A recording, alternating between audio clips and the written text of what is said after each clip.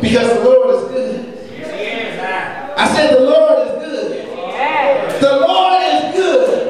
And his mercy endures forever.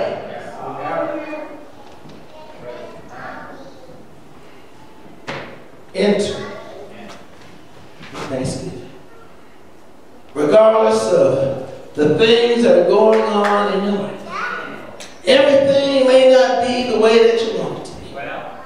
But you still are to enter his gates with thanksgiving. We ought to have an attitude of gratitude. We ought to remember just to say, thank you.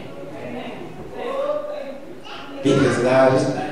Oh, and if he didn't do anything else, he still thank you. If you stop today, right now, he's still there. And he's still worthy of it. And I'm so thankful that he's a God that's not going to stop.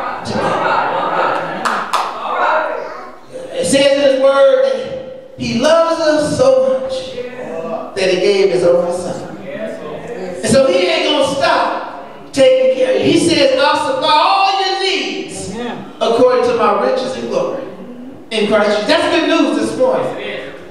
Whatever God's got it.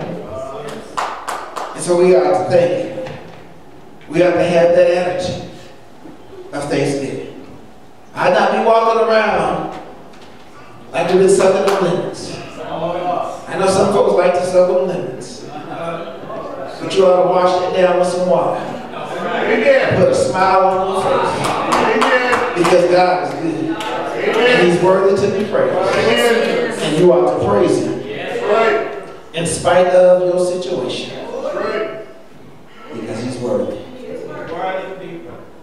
I pray this is a meaningful season. And again, we ought not just think about it in the month of November. But there's 365 days in a year. And we ought to thank him every single day before our feet hit the ground. Because he's worthy. And he didn't have to wake you up this morning. He didn't have to give you movement in your limbs this morning. He didn't have to wake you up in your right mind this morning. But he did. And so you ought to say thank you. Mama always told us, if somebody does something nice for you, you ought to say thank you. Amen. And so you ought to say thank you. Just for who he is and what he's done. Enter because of what he's done. Enter because of who he is. And then the command to shout for joy. Serve him with praise. Come before him with joyful songs. And know who he is. And enter his gates of thanksgiving. And his course with praise. Be thankful unto him. And bless his name. For the Lord is good. And his mercy endureth forever. Amen. Amen. I hope we continue with an attitude of thanksgiving. Though Thanksgiving's over. And the month is coming to an end.